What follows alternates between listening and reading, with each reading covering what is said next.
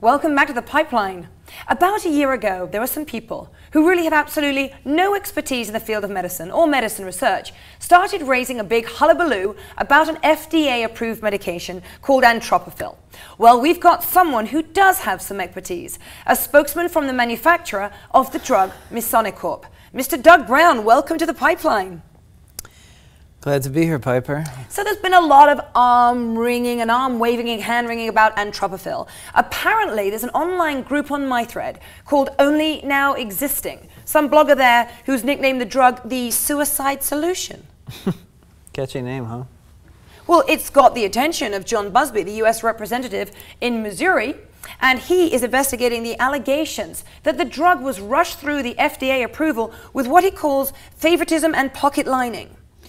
Which is ironic because between this one movement you mentioned and Mr. Busby, this drug has probably undergone more scrutiny than any drug in recent memory.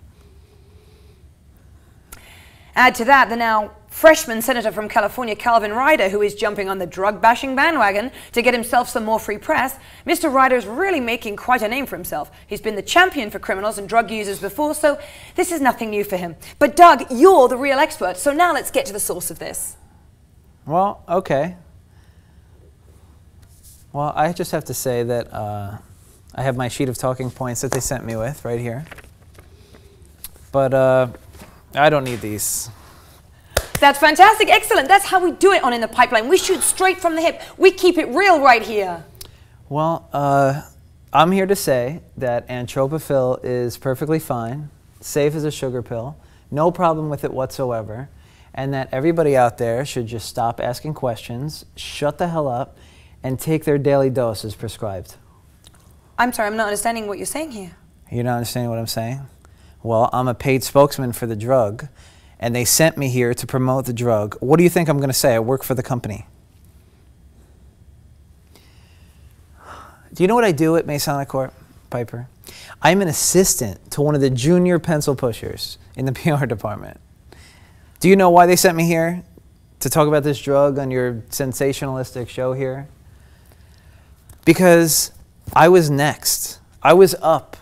That's the expertise that I bring. Okay, well, we're going to take a quick break right here, and when we come back, we're going to You just took a break. You just came back from a break. Why would you try to control the truth like that? Are you trying to get me to not speak because I'm off the script? Look, I thought we were keeping it real, right? Why don't you let me speak? Is Antropophil dangerous, right? Is that the question? Of course it is. What do you think? There's people dying nationwide from this drug.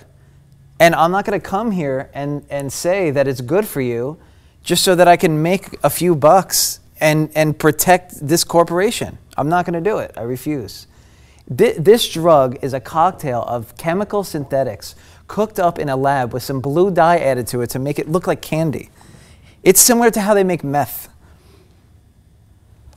I, this has got to be a joke. It is a joke, okay? And here's how it ends. I'm going to leave here and I'm going to be discredited and fired for some contrived reason when we all know it's because of what I'm saying here on this interview. And then I'll file a lawsuit for wrongful termination and it'll be settled out of court for some hefty lump sum and I'll have to sign confidentiality papers about it and I mean Look, this drug is an antidepressant that is so dysfunctional that it's caused some people to actually kill themselves. Like, George Orwell wouldn't believe this. Wake up, America.